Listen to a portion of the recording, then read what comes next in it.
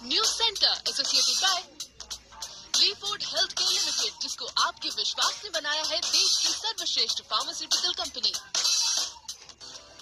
Corona संकट के समय देश के प्रति अपनी ज़िम्मेदारी समझते हुए हर्बल एंड वेलनेस प्रोडक्ट्स और उनकी मार्केटिंग करने वाली कंपनी एस्क्लीपियस वेलनेस ने अपनी ओर से 25 लाख रुपए की राशि पीएम केयर फंड में दान की। दोस्तों आज एसएलपीएस वेलनेस प्राइवेट लिमिटेड ने अपनी तरफ़ से कोरोना जैसी भयंकर महामारी के संकट के दौर में भारत सरकार द्वारा बनाए गए पीएम केयर फंड में एक छोटी सी राशि का अनुदान किया है और एसलीपीएस वेलनेस ये वादा करती है कि देश की हर एक व्यक्ति में वो देश के साथ कंधे से कंधा मिलाकर खड़ी रहेगी। दिल्ली बीजेपी अध्यक्ष मनोज तिवारी ने एस्क्लीपियस वेलनेस के इस प्रयास की सराहना की और धन्यवाद दिया।